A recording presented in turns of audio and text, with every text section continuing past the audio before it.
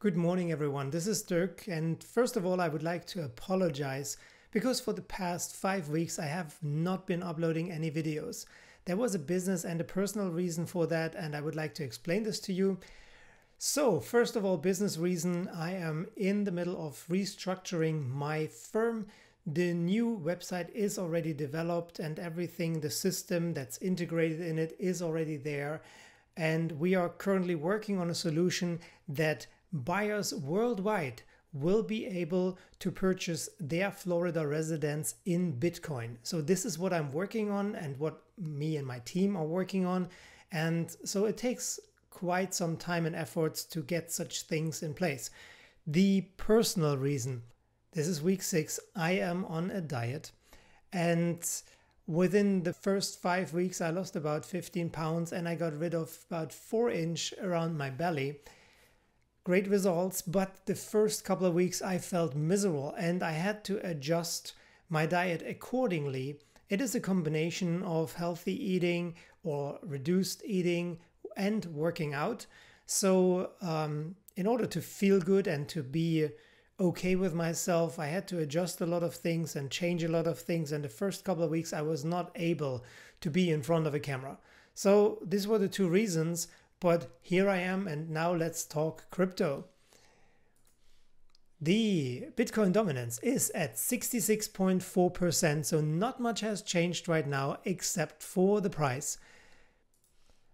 So we are still in this descending channel, and if you take a closer look, we are even in a descending triangle. Now, every descending channel will end eventually with a breakout, but so far we are below the 200 day moving average and below our EMA ribbon. So these are all very bearish signs. Now, I told you guys that I'm not a day trader, although I keep my eyes on the market, but I am more of a hodler. So I see the long term, the future perspectives of Bitcoin. And that's why I'm not worried at all. I believe and I know that we will reach much different heights in the future. So this is not really concerning to me. In fact, it is a great chance to accumulate more and to get a little bit more into the portfolio.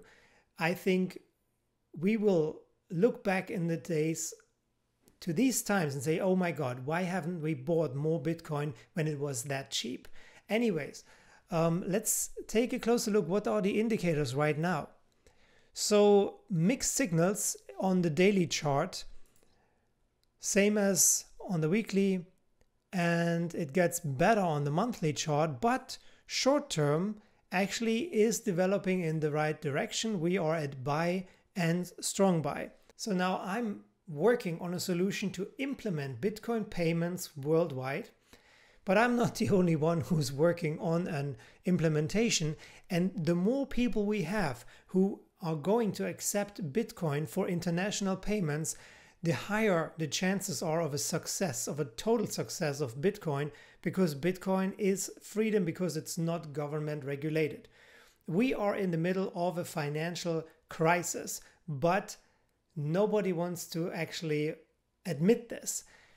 So, what causes all these problems where we are right now? Let's take a closer look. So, everything started with the Bretton Woods Monetary Conference after World War II, where the United Nations were meeting up to find a common solution for the monetary policy as we currently know it. At Bretton Woods, New Hampshire, delegates from 44 allied and associate countries arrived for the opening of the United Nations Monetary and Financial Conference. Zhang Shi-kung, one of China's representatives, with Secretary and Mrs. Henry Morgenthau. United States Treasury Secretary Morgenthau heads the American delegation. On the opening day, in his role of acting conference president, he addresses the meeting. To be discussed are plans for the stabilization of world currencies. 44 countries sent delegates to a conference held in Bretton Woods, New Hampshire, as of the 1st of July 1944. The U.S., which held two thirds of the world's gold reserves after the war, was obviously the most influential player, and ultimately, all currencies ended up linked to the dollar, and the dollar was linked to gold. Unfortunately, as good as it may have sounded on paper, the Bretton Woods system didn't survive because the United States kept running deficits to fund various projects, and therefore, the amount of dollars in existence kept increasing while the gold reserves of the US kept shrinking, as more countries demanded gold in exchange for their dollars. As such, on the 15th of August 1971, Nixon officially announced that dollars would no longer be convertible to gold, thereby putting the final nail in the coffin of the Bretton Woods system.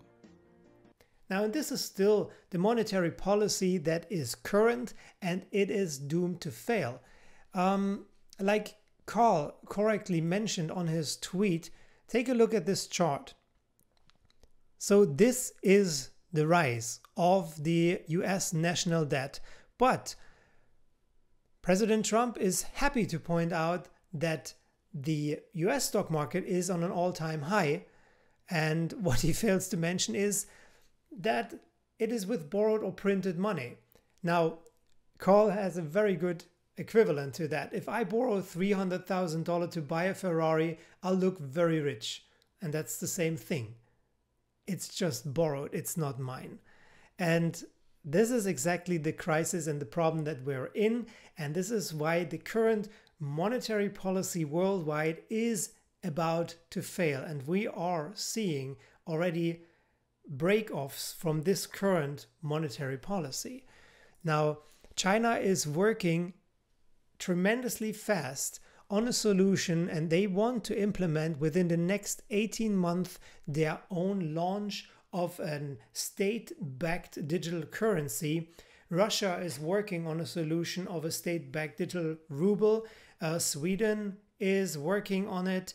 Um, as much as I know, there are oh, here with the here we go. Senegal and uh, the Marshall Islands, they have already a digital state backed currency. And so a lot of other countries are going to uh, have their own state backed digital currencies. And why they do this is because it is so much simpler for international trades and to cut loose from the dollar dominance. And this is what we're currently seeing.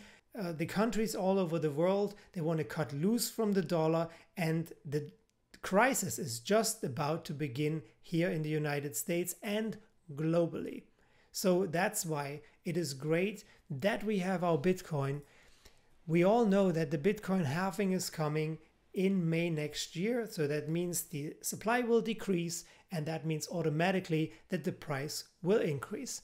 There are only 2.9 million Bitcoin left to be produced within the next 120 years. They're not produced yet.